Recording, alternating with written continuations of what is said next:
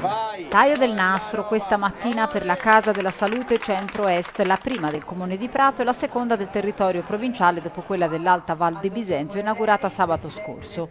Ospitata in un immobile della Misericordia di Prato, la struttura è accessibile da via Fra Bartolomeo e rappresenta un potenziamento dei servizi sanitari cittadini. Nei suoi 500 metri quadri infatti troveranno posto 14 medici di medicina generale, l'infermiere di famiglia e di comunità, i servizi sociali, vaccinazioni, attività amministrative e la salute mentale. Si comincia subito con la parte amministrativa e sociale, si prosegue a settembre con i medici di medicina generale e a ottobre con gli specialisti. Quindi vuol dire una copertura da parte dei medici di medicina generale sulle 12 ore, comprensiva poi anche di tutto il sabato.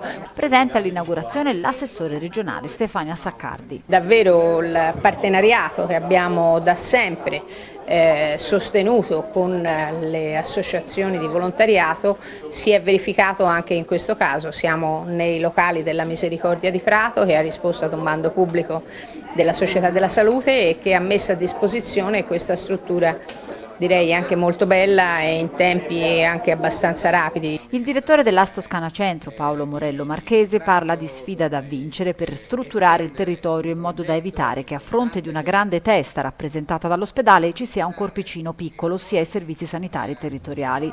Siamo contenti ma non soddisfatti perché è necessario andare a regime il prima possibile, dato che non sappiamo cosa ci aspetta in autunno.